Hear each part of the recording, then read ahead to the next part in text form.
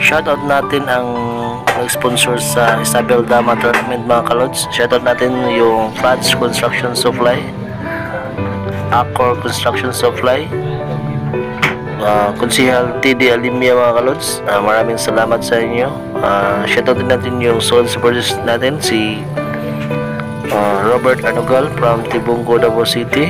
Uh, shoutout din natin yun si Robin Guam from Tagum City, kalods. Uh, shoutout din natin si Boss Junior Mall, Metro Cosalar Dama.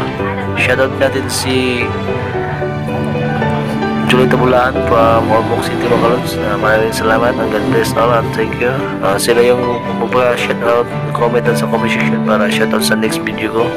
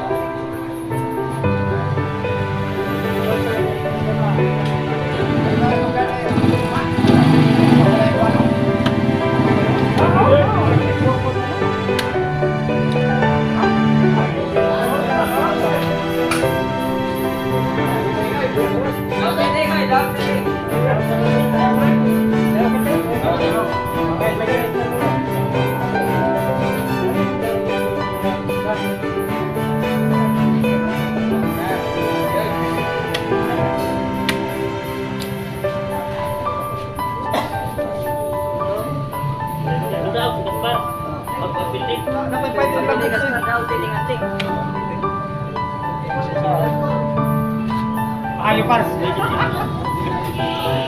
materi mau ngomongin materi pero kok